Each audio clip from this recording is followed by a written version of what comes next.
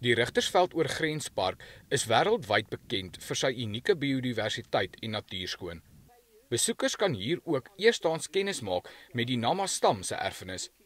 En vir die avontuurlustiges is daar verskeie buitelug aktiwiteite. It's beautiful, beautiful landscape.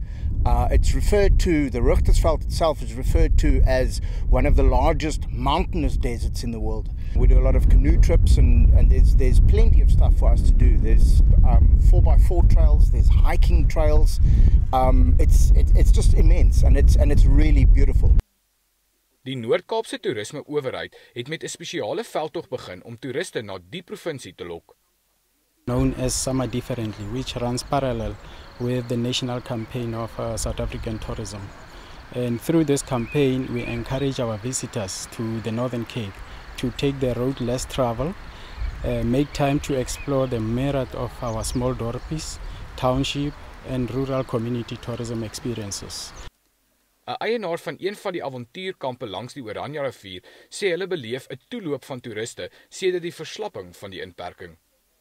Ek het nog nooit so baie vol of vol by vol groepe deur ons in so kort tydjie gesien soos van ek wil sê middel weet soos vanuit die grootste lockdown gelig is wat ons provinsiale grense oopgegaan het. Dit was dit was dis konstant en is baie mooi want die mense wil net wegkom en ons het gelukkig mos 'n groot area en ons is veilig. Toeriste ondernemings kan nie wag dat dit makliker is vir internasionale toeriste om die gebied te besoek nie omdat dit finansiëel baie sal help.